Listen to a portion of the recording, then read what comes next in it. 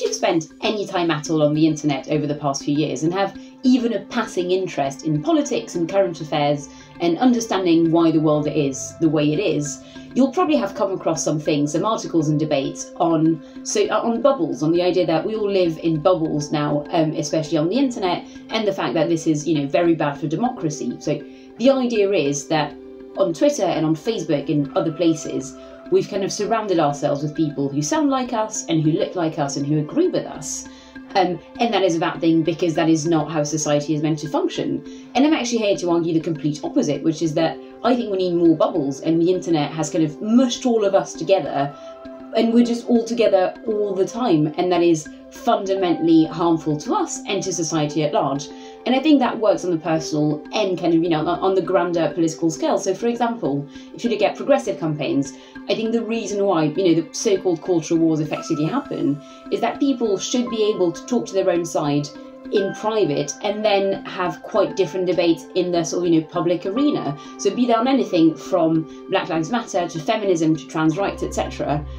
there are, you are always going to say slightly different things depending on who you're talking to because if you're talking to people who are also campaigners you will discuss quite radical ideas perhaps that you know things you want to happen in 5 10 15 years down the line if you're arguing with people you're trying to convince you're saying actually you know what?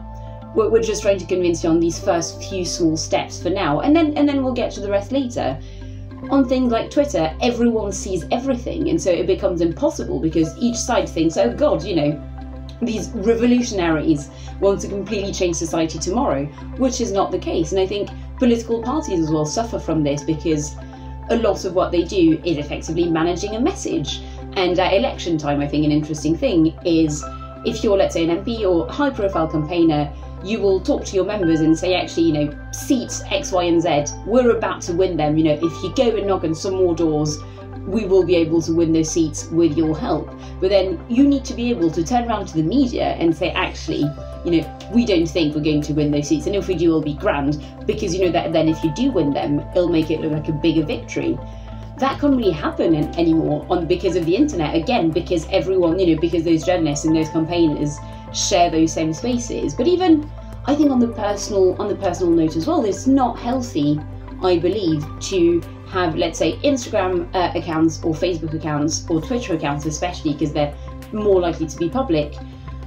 where you know like, you're sort of meant to be yourself, and that's the only way you can actually connect with people and make friends and be interesting. But at the same time, any future employer you may have can check this and think, actually, you know, this is public, therefore it represents their professional persona. Um, and, and that is not, you know, that there used to be limitations between workspaces, for example, um, and personal spaces, which do not exist anymore. Um, so yeah, so I think I am basically here to argue for more bubbles, and I think it is not something that we can change completely overnight.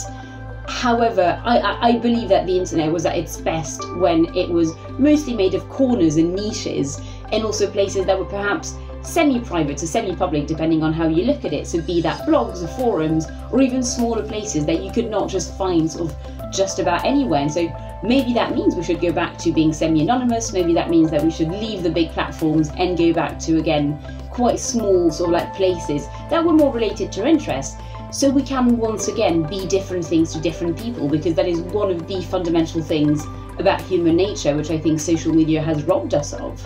Um, but yes, so that is why I believe that we do not live in bubbles, but we should.